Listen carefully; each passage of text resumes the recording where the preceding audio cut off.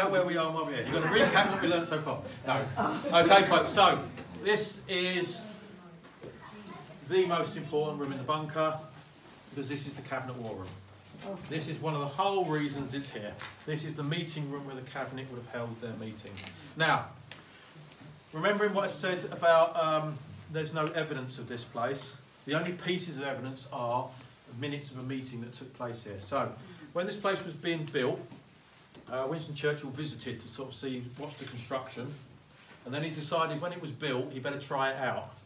So in 1940, he had an entire, moved the entire cabinet from London with all their aides and secretaries and the whole lot, moved the whole lot up to here and held a full war cabinet meeting room in this very room. So all the offices were manned, all the typists tried their typist pools, and everybody was here. That's when we had about 150 people would have been here when we did that meeting. Okay.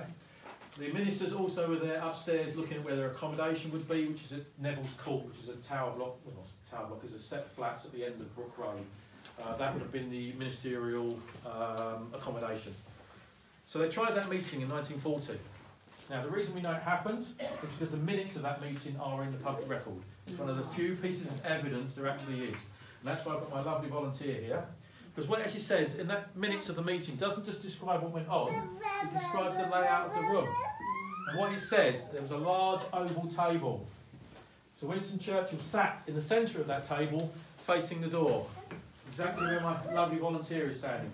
So she is now standing exactly where Sir Winston Churchill sat and held that cabinet meeting in 1940. So you can move now. I don't think I want to move. So this is where they held that cabinet meeting. Okay, the minutes of that meeting.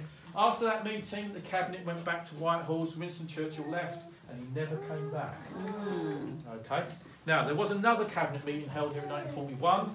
Uh, unfortunately, Churchill was ill on that day, and he didn't chair it. So it was chaired by Clement Attlee, who was in Privy Seal at the time, and he, he chaired the meeting. The reason that meeting took place was because the Australian Premier, Robert Menzies, was over, and he gave a 40-minute presentation on the Australian war effort in this very room. Mm. After that meeting in 1941, the cabinet left again, and they never came back.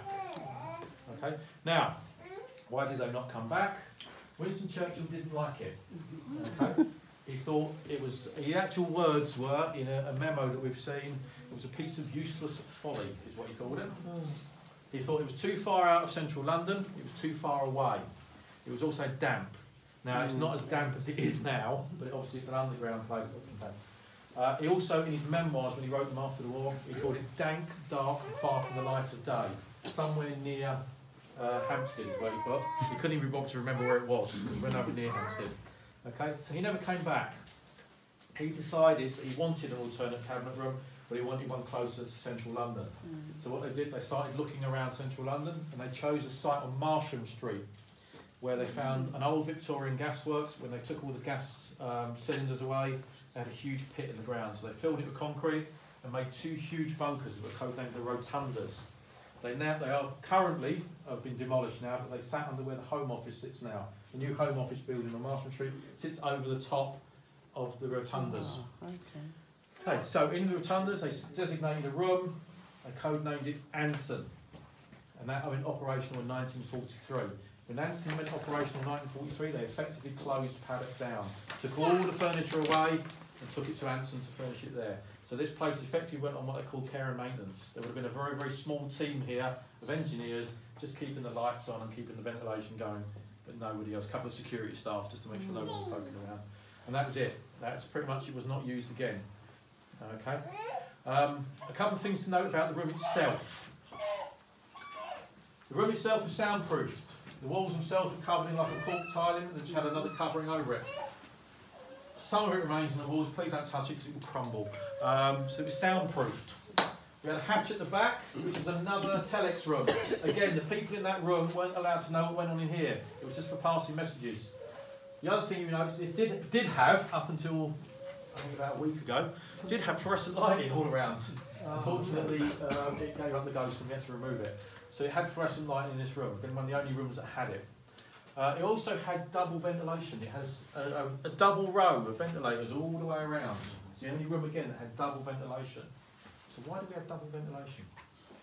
Churchill smokes cigars. Churchill smokes cigars. Not just him. Everybody smoked in 1940. Mhm. This would have been like fog. And remember, these are the these are the leaders of the UK.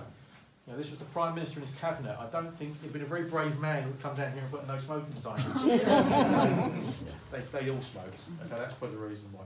Okay, so that brings us up to sort of, excuse me, 1943 with Anson coming online and Paddock putting on care and maintenance.